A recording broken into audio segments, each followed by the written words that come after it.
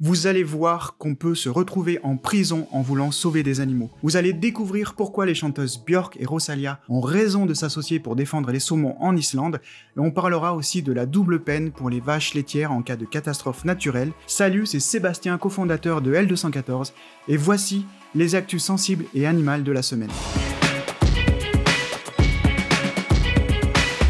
Wayne Zhun a été reconnu coupable d'association de malfaiteurs pour avoir sauvé des animaux malades d'élevage intensif dans le comté de Sonoma en Californie. Fondateur de l'association DXE, il risque jusqu'à 3 ans de prison. Avec son organisation, Wayne a pratiqué des open rescue, c'est-à-dire des sauvetages assumés sans se cacher, en entrant dans des élevages industriels pour filmer et exposer les conditions de vie des animaux et secourir ceux qui sont malades.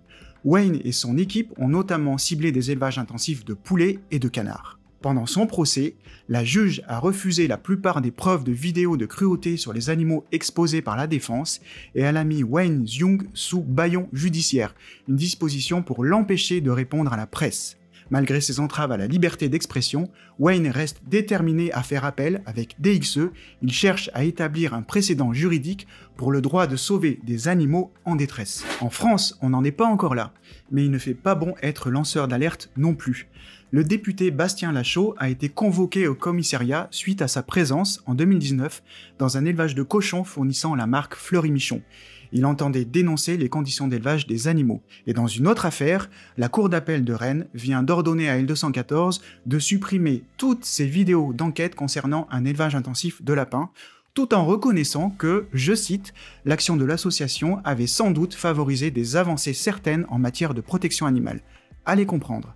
Si vous avez des idées pour faire avancer efficacement la cause animale sans montrer comment sont traités les animaux dans les élevages, alors mettez vite un commentaire sous la vidéo. En Islande, le secteur de l'aquaculture industrielle est à l'origine d'un nouveau désastre.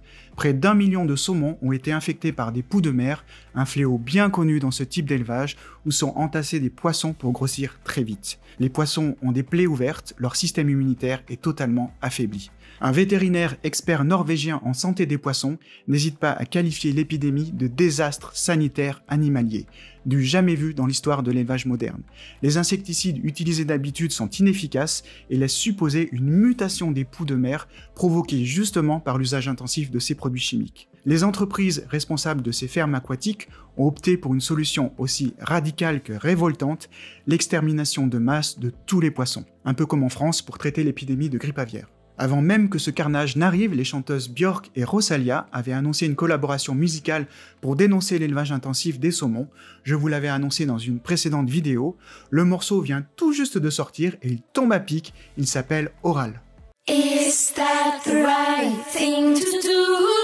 Si jamais vous êtes en train de découvrir et d'apprendre des choses dans cette vidéo, n'hésitez pas à mettre un petit like et à mettre un commentaire, ça fait très plaisir et ça permet à l'algorithme de YouTube de montrer cette vidéo à encore plus de personnes.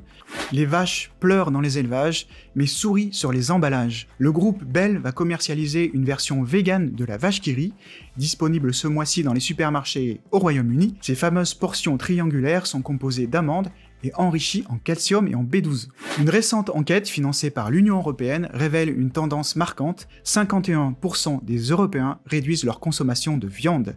La santé est le principal moteur de ce changement, cité par 47% des sondés, suivi par les préoccupations environnementales, 29%, et le bien-être animal, 26%. L'étude a été menée auprès de 7500 personnes dans 10 pays européens.